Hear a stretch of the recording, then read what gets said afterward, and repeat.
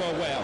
He actually was able to go around Marche Quadrago and his shot was saved. They have to get Razak, Patrick Razak applauded for this run. Shot straight into the arms of uh, this is uh, Black Stars coach Kwesi Appiah and uh, former Kumasi Asante Kotoko coach Michael Osei. Uh, Saturday ball event where it stands to Wafa. Uh, man down. Well, that is absolutely exciting. Winful Cobbinah scores a beautiful free kick now. 2 0 for Accra Hearts of Oak. What a blunder there from. That is a beautiful free kick. Just look at that. Well, he thought again that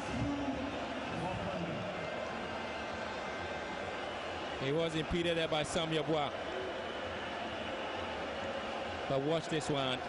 It had nothing to do with Sam Yabua. He simply failed.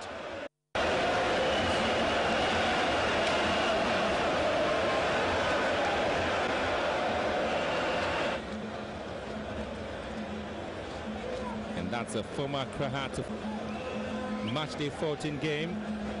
Because that's a folk are not really committing the mistakes now. Another ball to the far post.